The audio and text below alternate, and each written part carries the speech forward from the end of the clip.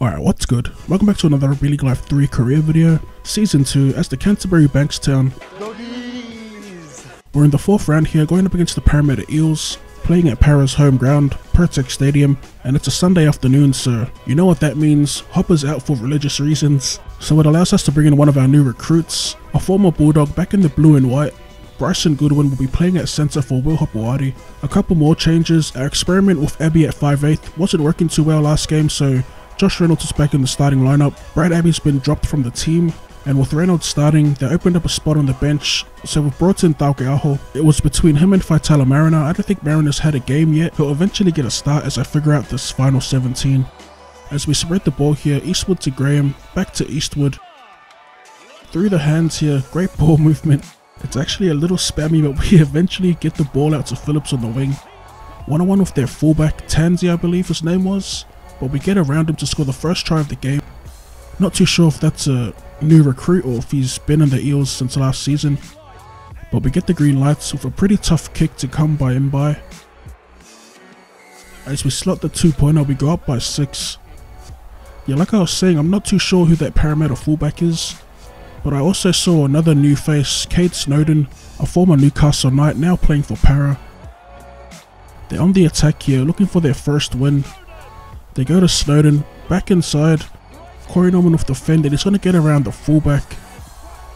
Great individual effort by Corey Norman there to score Parramatta's first try of the game as Kieran Foran converts, and they tie the game up. Back on attack, Rapana with the return. We did well defensively, keeping them in their half, as we shift the ball to Jackson, he takes it to the line and is tackled about 31 metres out. Seguiara at dummy half, he goes wide.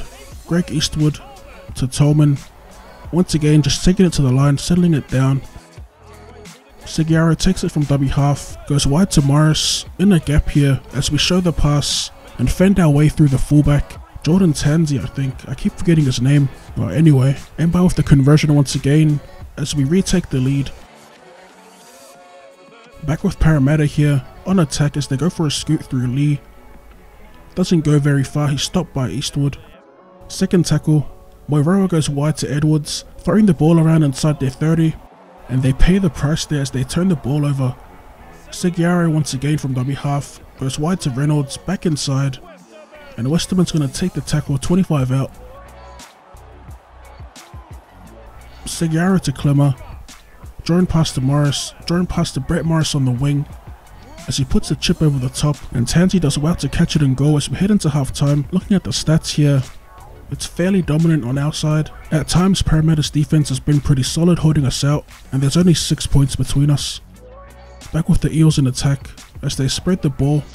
Miles gonna take the tackle, 41 meters out from their line. Once again they go to Norman who beats one tackle. This time he's wrapped up by Jordan Rapana at the back. A quick play the ball. Sakaragi with the clearance kick, kicking towards Brett Morris's wing. And it's a great chase in the end as they tackle him on the 10 meter line. Lewis Brown in at dummy half, scoots to left, gets past one, gets the pass back inside for Josh Morris. With room to move, we put the big fend on Tim Mannah there. As we race away, Josh Morris, one half of the Flash brothers, scoring his second try of the game. I'm expecting a big season from those two. Last season I played a lot on the right side of Rona and Hopper. This season I plan to use Reynolds and the Morris brothers. I say that now but I have a tendency to play to the right. As we make a break on the left once again, Josh Morris having a great game. Passes to Brett Morris, gets the fend on the fullback. Finally wrapped up, 15 out. A little scoot from Seguiara, eventually passes the ball on. And Westerman takes the tackle, 15 out fifth and last here. We go to Mbye. He puts up a high ball to the right side. And it's fielded nicely there by John Folau. Second tackle here. Through the hands to Folau in some space. 1-1 for Rapana and he's going to get around Rapana at the back. As he streaks away here. Scoring the Eels' second try.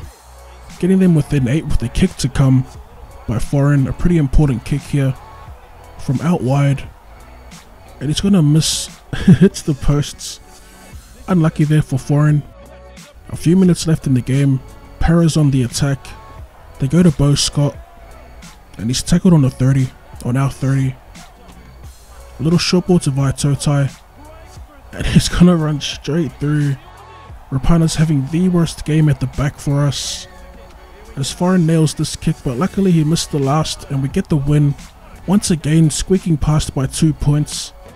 As we look at the full-time stats here, we got a little lucky there at the end. Much like the last game, we're a little lackadaisical in the second half, and Rapana's defense from the back certainly didn't help us either, but we do get the win in the end. Josh Morris picks up man of the match, and as always guys, I hope you enjoyed.